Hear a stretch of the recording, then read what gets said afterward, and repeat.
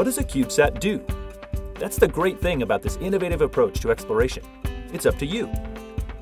A CubeSat is kind of like a cargo container on a ship. It has a standard size and shape, and you can pack in whatever you want. Similarly, with CubeSats, it's what's inside that counts. And it's up to you to decide what you want to discover.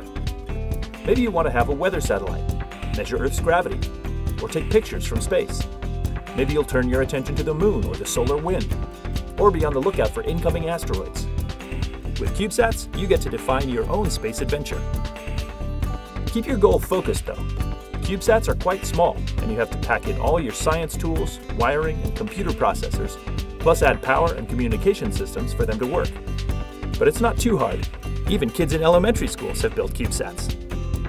Someday, these mini spaceships may travel all over the solar system, collecting data for Earthlings everywhere.